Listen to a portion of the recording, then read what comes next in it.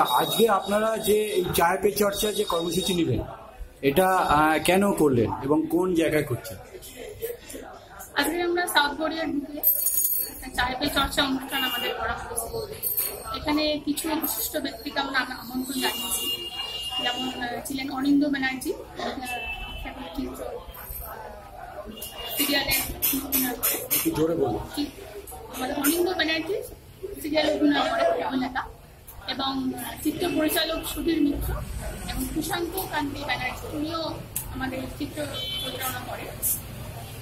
আমাদের চারিত্র চর্চা সম্পর্কে যে আমাদের ভাবনাটা ছিল আর বর্তমানে যে পরিস্থিতি চলছে আমাদের কেন্দ্র ভারতবর্ষে,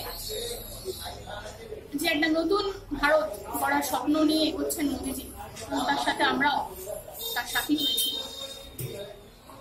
তিনশো সত্তর ধারা এবং পঁয়ত্রিশের এ এক লহমায় দিয়ে দিলেন কাশ্মীর থেকে কাশ্মীর জন্য নতুন স্বাধীনতা ভোগ এছাড়া বিভিন্ন বিষয় যিনি এগোচ্ছেন, অর্থনীতির একটা চরম পদক্ষেপ নিতে চলেছেন। সুইস ব্যাংকের কালো টাকা ফেরত, সে বিষয়ে মোদীজি অগ্রণী হয়েছেন। এছাড়া বিভিন্ন সংস্কার, বিভিন্ন যে আমাদের চায়না সীমান্ত আছে, পাকিস্তান সীমান্ত আছে, সেই সেই সেখানে আরও অতন্ত্র প্রহরীর মতো আমাদের সেনানীরা কাজ করছে। এবং যে রক্ষা কর্তা হিসেবে মোদী আবির্ভূত হয়েছেন আমাদের ভারতে, সেটা এর আগে হয়নি।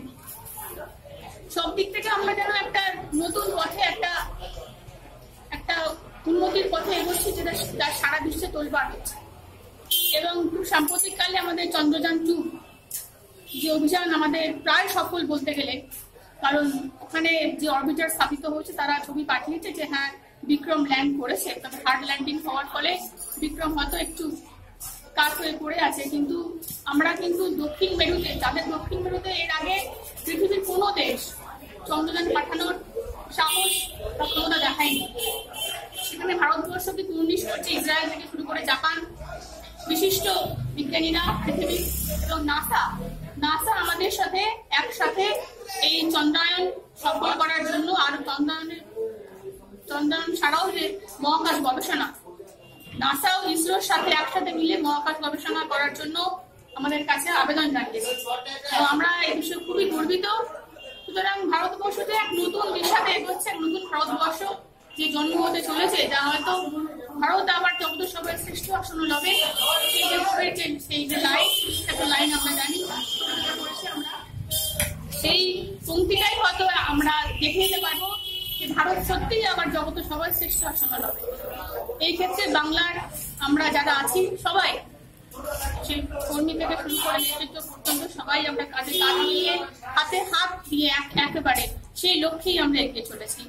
এবং সেই সম্পর্কে আমরা ছোট্ট কার্যক্রম তাইতে চর্চা এবং এটা বলে রাখি যে পুজো আসছে সামনে পুজো আসছে বাঙালি সর্বশ্রেষ্ঠ উৎসব এবং ইউনেস্কো দ্বারা স্বীকৃত যে পৃথিবীর মধ্যে দুর্গা পূজা কিন্তু শ্রেষ্ঠ উৎসব হিসেবে পরিগণিত হচ্ছে হয়েছে। ইউনেস্কো বলেছে পৃথিবীর স্ট্যাম্প পড়ে গেছে আমাদের দুর্গা পুজোর গায়ে সেটা আমাদের খুব গর্বের আজকে কি বুঝলেন আজকে কি বুঝলেন? এই চায় পে চর্চার কি বুঝলেন? কীরকম সাড়া পেলেন?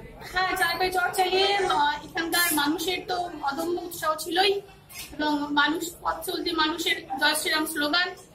এবং যারা ছিল আমাদের এখানে কর্মী থেকে শুরু করে দর্শক, তাদের চোখে মুখে যে উত্তেজনা, যে উচ্ছ্বাস আমরা দেখেছি সেটা তো আমাদের মনে একটা পজিটিভনেস নিশ্চয়ই এনেছে।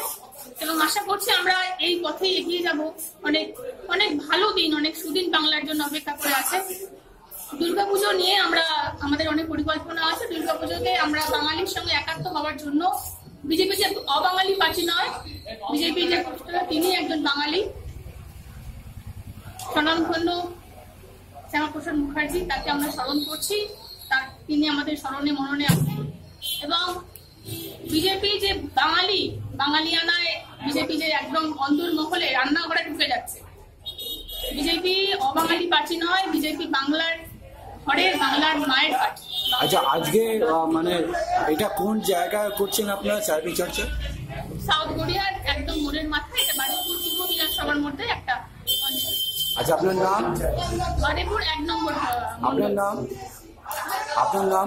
আমার নাম বাসম দত্তা ব্যানার্জি আমি পদে আছেন? যুব মোর্চার কালচারাল কোঅর্ডিনেটর এবং নর্থ সাথে অফিসার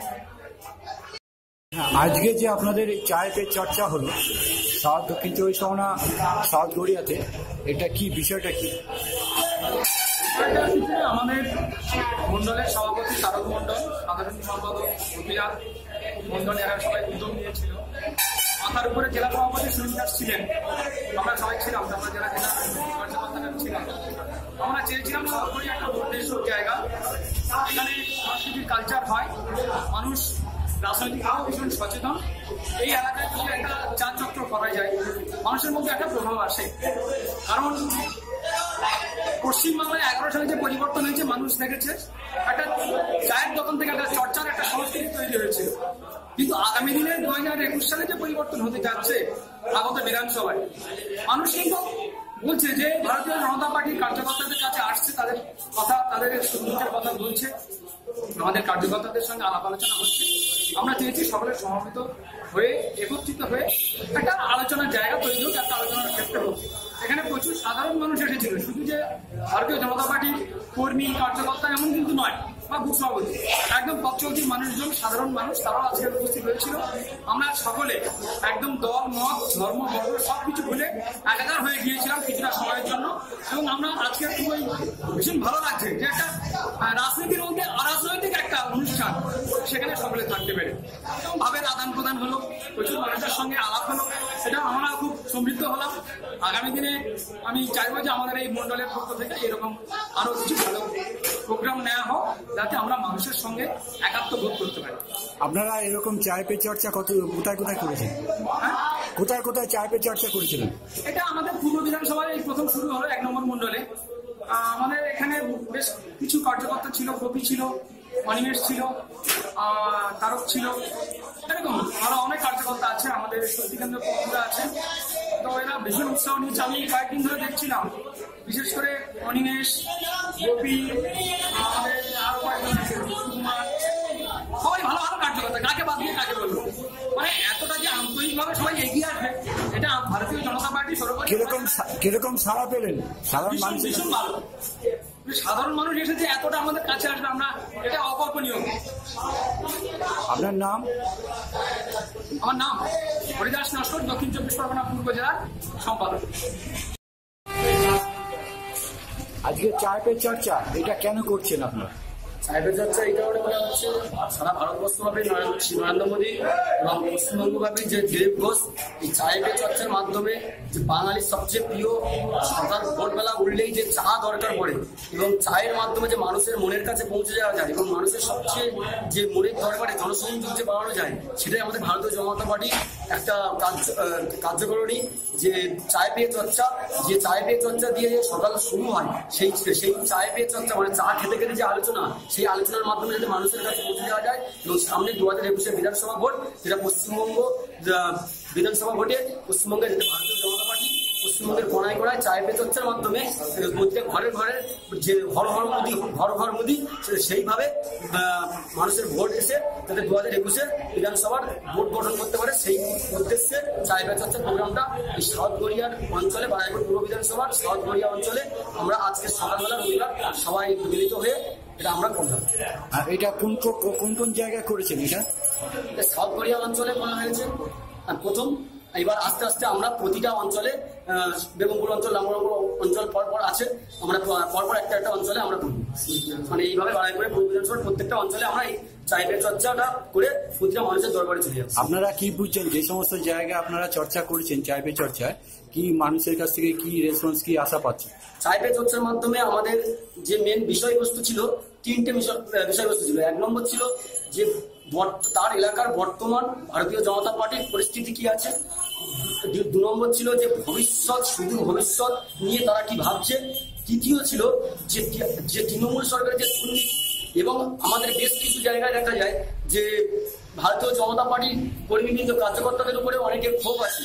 সেই যে বিষয়বস্তু এই তিনটে বিষয়বস্তু এই তিনটে বিষয়বস্তু যাতে আমরা জানতে পারি এবং আমাদের যারা নেতৃত্ব দিচ্ছে জেলা নেতৃত্ব এবং রাজ্য নেতৃত্ব এবং সেন্ট্রাল নেতৃত্ব আমাদের মধ্যে বিশিষ্ট অতিথি হিসেবে ছিলেন চলচ্চিত্র জগতের অনিন্দ ব্যানার্জি মহাশয় এবং সুদীপ শোষণ আহ, তুষারকান্তি ব্যানার্জি মহাশয় এবং আমাদের চলচ্চিত্র জগতের যিনি সুধীর মিত্র নাট্যকার সুধীর মিত্র উনিও উপস্থিত ছিলেন এবং আমাদের জেলার নেতৃত্ববৃন্দ উপস্থিত ছিলেন, মন্ডল নেতৃত্ববৃন্দ উপস্থিত ছিলেন এবং স্টেট নেতৃত্ববৃন্দ উপস্থিত ছিলেন। এবং সংখ্যালঘু মোর্চার হাসিফ শেখ উনি, উনিও ছিলেন। আমরা বারাইপুর পূর্ব জেলা। আমরা এই চার বিয়ে চর্চার মাধ্যমে মানুষের কাছে যে আমরা বুঝলাম যে মানুষের যে মতামত সেই মতামতটা নিয়ে যাতে আমরা বিগত দিনে ভালোভাবে ভালোভাবে তাদের পাশে থাকতে পারি এবং বিগত দিনে তাদের তাদের আশা আশা পূরণ করতে পারি সেই হিসাবে আমরা জন জনসংযোগ হিসেবে আমরা চাইবে চর্চা করলাম। তোমার নাম? আমার নাম দেবব্রত গায়েন কি পদে আছো? এই মুহূর্তে ভারতীয় জনতা পার্টির পূর্ব বিধানসভার এক নম্বর মন্ডলের যুব মোর্চার সেক্রেটারি সাধারণ সম্পাদক। It's caught in the crossfire.